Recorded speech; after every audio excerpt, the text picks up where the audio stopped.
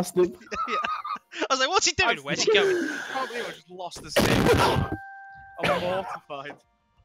It's in my hands, and then all of a sudden, fucking.